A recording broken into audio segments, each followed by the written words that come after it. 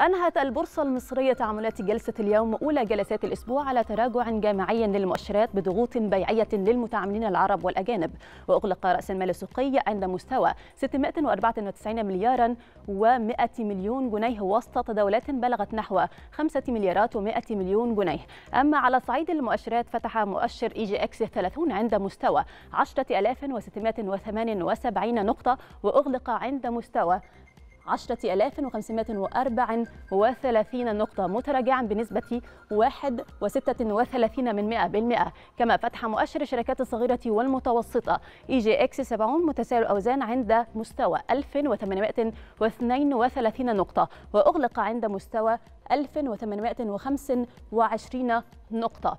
منخفضا بنسبة 42 من 100% كما فتح مؤشر EGX 100 متساوي الأوزان عند مستوى 2786 نقطة ليغلق عند مستوى 2766 نقطة متراجعا بنسبة 69 من 100%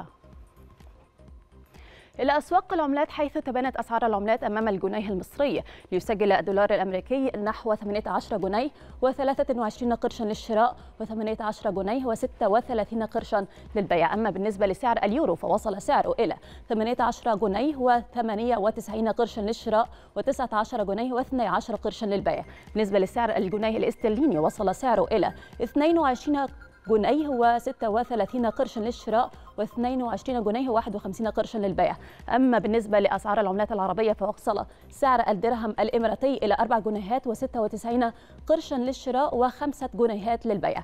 بالنسبة لسعر الريال السعودي وصل سعره إلى 4 جنيهات و86 قرشا للشراء و4 جنيهات و89 قرشا للبيع.